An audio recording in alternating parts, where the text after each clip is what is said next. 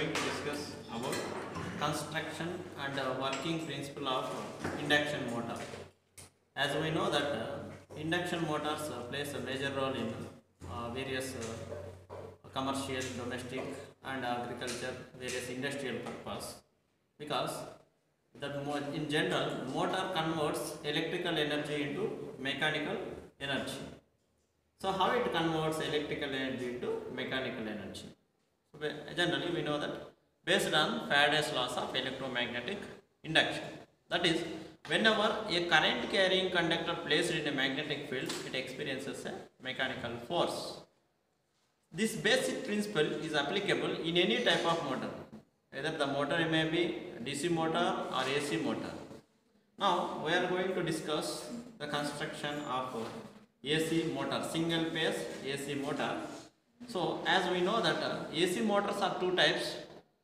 So three phase induction motor and single phase induction motors. Okay. So however the working is same. So later we will discuss uh, clearly.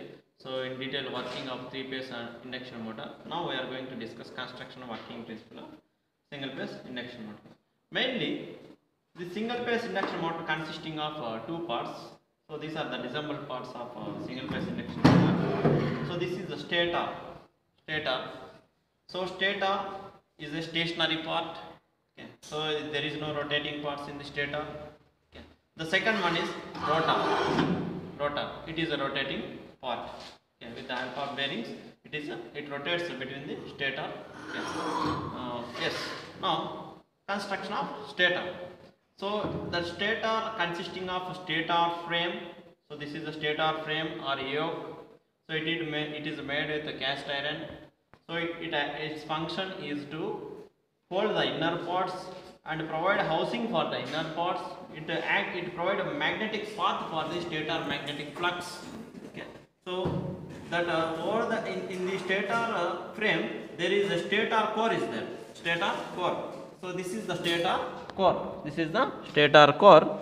Okay. So it is a laminated structure of silicon steel laminations. So like this. So its inner periphery having the slots, inner periphery having the slots to place the stator winding in the slots. Now the laminated, uh, the size of the lamination depending upon the frequency of operating frequency. So here the thickness is 0.35 mm for 50 Hz operation, 0.25 mm for 25 Hz operation, 25 Hz operation. Now in the stator, there are two windings are placed in the single phase induction motor stator. That is, one is the main winding, the second one is starting winding. So, single phase induction motor is actually not self-starting because the pulsating magnetic field produced by the stator. So, because only the only one one magnetic field is there. However, the another magnetic field is created at the time of starting by the starting winding and the capacitor and the capacitor are connected in series. Now, this starting winding produces the another flux and the main winding produces the one more flux. Now, the interaction between the two fluxes creates the RMF, rotating magnetic field. That rotating magnetic field dri- uh, uh, moves over the stationary rotor. So now, whenever that uh, magnetic field cut by the rotor, here it, the rotor is a squirrel cage rotor. Whenever the magnetic field cut by the rotor, an EMF induced in the rotor, it produces the another magnetic field.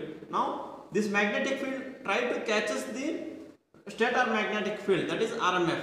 This rotor magnetic field try to catch the stator magnetic uh, field, okay. but it never catches that uh, magnetic field. So always uh, the stator magnetic field moves at a synchronous speed and rotor try to rotor magnetic field try to attract uh, uh, that magnetic field. So this process is continuous. In this way the motor rotates in the direction of uh, rmf in the direction of rmf but the speed of the rotor less than the synchronous speed that's why this motor is also called as asynchronous motor. Now how this starting winding disconnected from uh, during running time? So there is a one centrifugal switch is there in the rotor the centrifugal switch is there so this uh, centrifugal switch uh, whenever this uh, whenever this rotor rotates at a speed of nearer to 80% of its rated speed automatically due to the centrifugal forces act on this uh, act on this mechanism so that uh, starting winding is disconnected from disconnected from the supply. So then during the running, this motor runs on only main winding. Runs on main winding only. So during running time, this capacitor helps to improve the power factor of that uh, mission. Power factor of the mission. Definitely, as a power factor is better, definitely the losses in the mission are less. Thereby, that mission efficiency increases and its lifetime increases. Okay. The per unit cost and energy consumed by this mission is also decreases for the same work. Okay. So this is the construction of stator. Then coming to its rotor. This rotor is a squirrel cage rotor. Actually, this there is a skewed slots, skewed rotor slots. That means these slots are not parallel with the shaft. They make some angle with the shaft uh, because to avoid the magnetic noise and to avoid the magnetic locking between stator and rotor. That's why these are skewed rotor slots. So the inside, so this is inside this one. There is a copper bars are placed in the slots of uh, rotor. The, this is the squirrel cage. Squirrel cage means this the these copper bars are short circuited through the end rings on both sides. It forms a closed path itself. Forms closed path itself. Now all this structure is mounted on the shaft. So for the better cooling purpose of this winding and uh, for the mission, one uh, lightweight aluminium fan is mounted on the same shaft.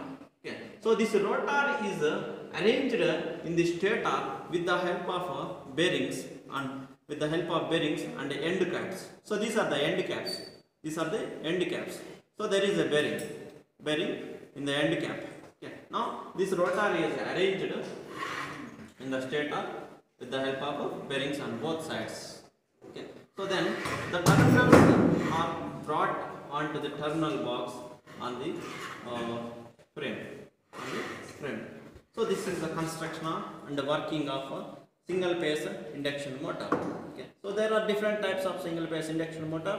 So here it is a capacitor starter single phase induction motor. So in that uh, there are different types of uh, single phase induction motor, capacitor start and capacitor start and run. Shaded pole. So different uh, types are there. Uh, later we will discuss uh, remaining uh, missions.